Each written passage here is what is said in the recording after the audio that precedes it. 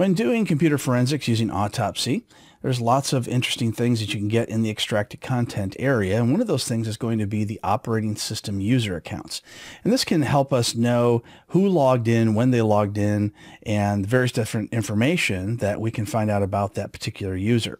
So let's start out by clicking on the operating system user account that you see here. And in previous videos, I installed Autopsy and also converted a server into a file that we could then mount onto the server that we're doing the autopsy investigation. If if you missed any of that, just go back into the playlist and take a look. All right, so now we're in the operating system user account, and we can see that there's three user accounts. Now, this is from a server that I'm investigating that is a Windows 2016 server. So we can see that the default account, the guest account, the administrator account are all listed there.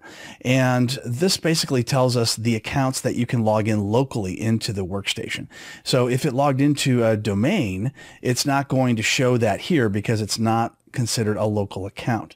Now, if I switch over to the mounted file, we can see this is the VHD file that I mounted as a drive letter. We can see sure enough there's the administrator, there's the default, and there's public. Now the guest account that you see here doesn't show up in the user's profile here, and that's because I never logged in as the guest account. If I did, I would have to enable it and then log in as guest, and then you'd see a profile for that particular user. So I'm going to minimize that and I'm going to focus on the administrator because the administrator is really the only one that is logged in. If I look at the default account, we can see that the account is disabled and the guest account, we can see the account is disabled as well. So I'm going to look at the administrator account and we can see a lot of different information such as the date created, date accessed, uh, what the description of the account is. We see that the password never expires. It's considered a normal account rather than a system account because it's controlled by a user rather than the operating system. So we also see other information such as the count, how many times the user is logged in. Password does not expire as mentioned again here and additional information. So let's take a look at some of the other tabs. First off, there's no annotations because there's nothing to hide inside there. However, under File Metadata, it gives us a lot of the same information that we saw earlier, such as created, changed, modified, access, etc. Now, if I go to where it says Application and click on SAM, which is the Security Account Manager, I can expand a little bit more information, such as the domains, account, aliases, users, and there it shows our three users. Next, I can go into text, which doesn't really give us a lot of information, but hex can give us some information. These are the locations of the security account management where the files are kept for the various different three users that you see here. And if I go back to results, I can see this ID. So this the ID information is going to be kept in this SAM folder. So we see the ID is S-1-5-21, etc. And what that SID is, is the security identifier of the user. So if you're going to see the user, you're going to see the user inside this particular folder, which is the system root, then the config, then the SAM folder. And that's where it's pulling this information from.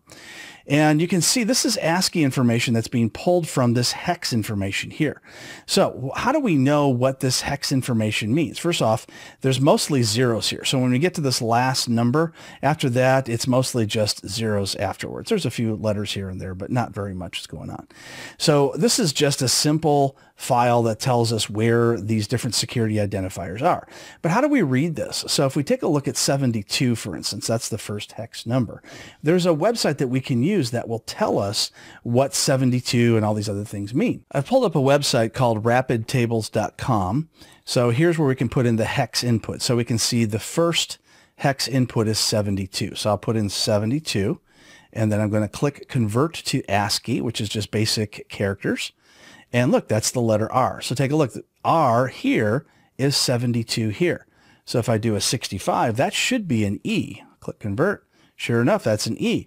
So we know 72, 65, 67 is REG, followed by FP.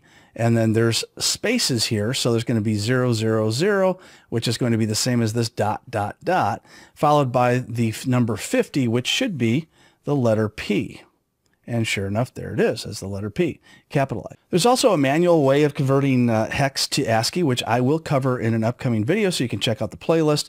So that way, if you don't have this website available, then you can go ahead and do it manually. And if you get good enough, you might be able to even do it in your head for some of the more common letters. So that is how you go into the operating system user accounts in Autopsy to do computer forensics.